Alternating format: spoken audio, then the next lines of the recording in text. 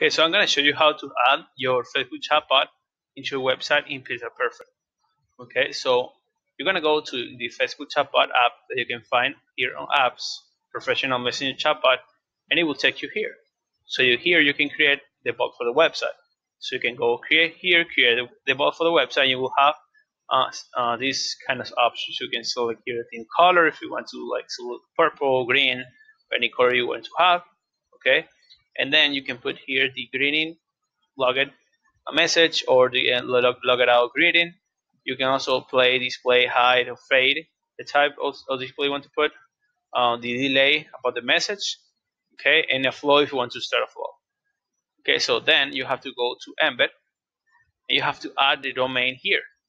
Okay since I'm, I'm using this domain here I'm gonna need to go to how okay then open the URL and it will take me to this website.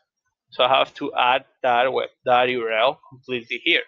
If I using this uh, domain, you can see that I added the domain without the www and with the www. Okay, so that just click on save, and then you can go back to your website. Go here, and then go over here. You can put the chatbot over here. So you you will go to to the chatbot, copy that code, put it over here, save, and you can save and publish, and then you will see that the, the, the chatbot will display automatically over here on the, the um, right side of the screen.